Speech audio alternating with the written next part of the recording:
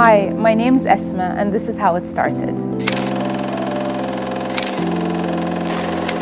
And today, I'm the head of Emirates Islamic Call Center in Tanfeeth.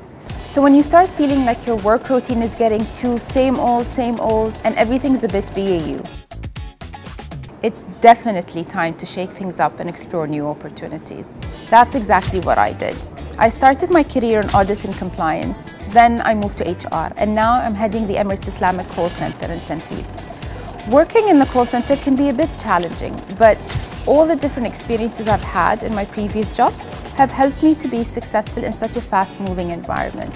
So if you're ever thinking about making a career move, don't overthink it. Just take the plunge and go for it. Trust me, it's worth it.